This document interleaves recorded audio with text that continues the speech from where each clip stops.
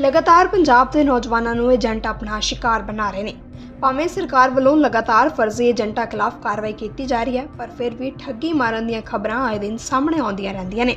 ਹੁਣ ਅਜਿਹਾ ਹੀ ਮਾਮਲਾ ਲਹਿਰਾ ਗਾਗਾ ਦੇ ਪਿੰਡ ਖੋਖਰ ਤੋਂ ਸਾਹਮਣੇ ਆਇਆ ਜਿੱਥੇ ਇੱਕ ਨੌਜਵਾਨ ਨੂੰ ਏਜੰਟ ਨੇ ਵਰਕ ਪਰਮਿਟ ਦਾ ਝਾਂਸਾ ਦੇ ਕੇ ਟੂਰਿਸਟ ਵੀਜ਼ਾ ਤੇ ਮਲੇਸ਼ੀਆ ਭੇਜ ਦਿੱਤਾ ਤੇ ਨੌਜਵਾਨ ਕੋਲੋਂ 9 ਲੱਖ ਰੁਪਏ ਦੀ ਠੱਗੀ ਮਾਰ ਲਈ। ਨੌਜਵਾਨ ਨੂੰ ਏਜੰਟ ਵੱਲੋਂ ਕੀਤੀ ਇਹ ਠੱਗੀ ਦਾ ਉਸ ਵੇਲੇ ਪਤਾ ਲੱਗਾ ਜਦੋਂ ਉਕਤ ਨੌਜਵਾਨ ਨੂੰ ਟੂਰਿਸਟ ਵੀਜ਼ਾ ਸਮਾਪਤ ਹੋਣ ਤੇ ਡਿਪੋਰਟ ਕਰ ਦਿੱਤਾ ਗਿਆ, ਜਿਸ ਪਿੱਛੋਂ ਵਾਪਸ ਭਾਰਤ ਪਰਤਣ ਤੇ ਨੌਜਵਾਨ ਨੇ ਅੰਮ੍ਰਿਤਸਰ ਏਅਰਪੋਰਟ ਤੇ ਜ਼ਹਿਰੀਲੀ ਚੀਜ਼ ਖਾ ਲਈ, ਜਿਸ ਕਾਰਨ ਉਸ ਦੀ ਮੌਤ ਹੋ ਗਈ।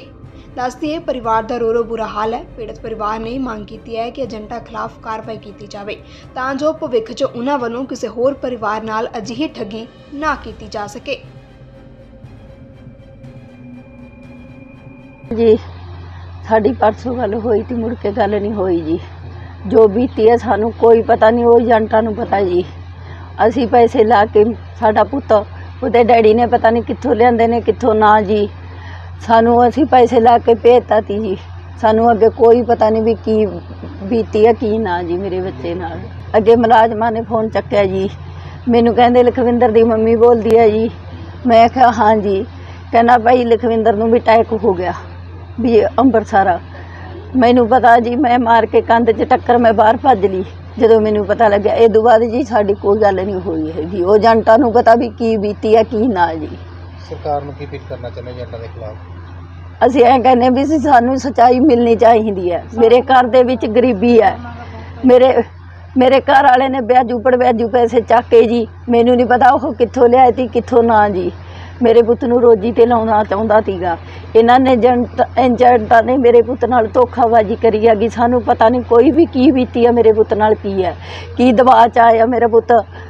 ਵੀ ਕੀ ਬਣਿਆ ਉਹਦੇ ਨਾਲ ਕੀ ਨਾ ਜੀ? ਅਸੀਂ ਗੱਲ ਕੀਤੀ ਉਹਦੇ ਨਾਲ ਫੋਨ ਤੇ। ਕਹਿੰਦਾ ਮੇਰੇ ਨਾਲ ਏਜੰਟਾਂ ਨੇ ਧੋਖਾ ਕਰਿਆ। ਕਹਿੰਦਾ ਮੈਨੂੰ ਕਹਿੰਦੇ ਨੇ ਵੀ ਤੇਰਾ ਵੀਜ਼ਾ ਵਰਕ ਬੇਸ ਤੇ ਲਵਾਇਆਗਾ।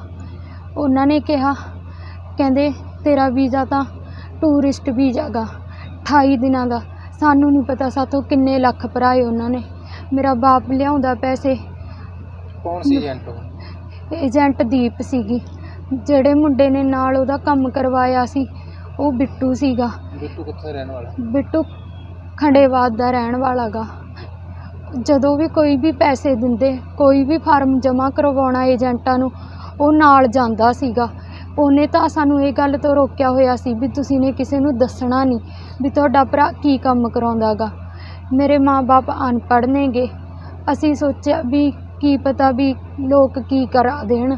ਇਸ ਕਰਕੇ ਉਹ ਖੁਦ ਵੀ ਸਾਨੂੰ ਕਹਿੰਦਾ ਸੀ ਵੀ ਤੁਹਾਡੇ ਘਰਦਿਆਂ ਨੇ ਉਹ ਤੇ ਕੁਝ ਕਰਾ ਰੱਖਿਆਗਾ subscribe to One India channel and never miss an update